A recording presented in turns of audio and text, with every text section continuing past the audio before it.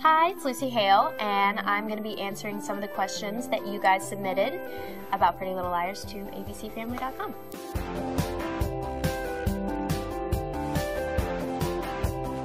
Do I ever borrow from Aria's closet?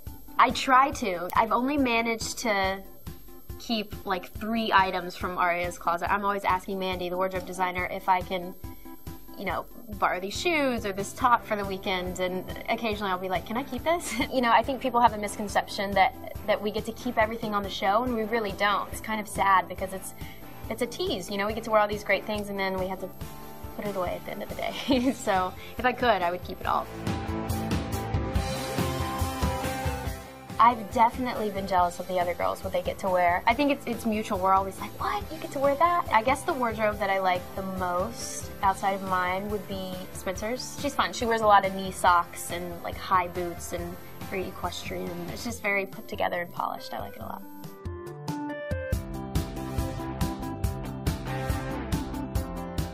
Oh yes, I am definitely a feather hoarder. I have this wall at home with all my earrings and I I, am into like making. There's a store in North Carolina where I just filmed at, and you could make your own feather earrings. So I have like five or six of those. It's just it's really fun and different, and um, I definitely think the trend is is uh, really popular now. I mean, usually Aria has her hair curled, so they'll wrap the curls around the barrel, and then it's just sort of shake and spray and just go with whatever natural texture you have. Then makeup, Aria's makeup look is very fun because we, we try to change it every episode. I mean, some basics, we always use the same blush, which is like a, I think Tarte makes it, and it's like a cream blush. Always use Rosebud lip balm, and uh, I always line the inner, the water lines of my eyes with black liner. Lots of mascara.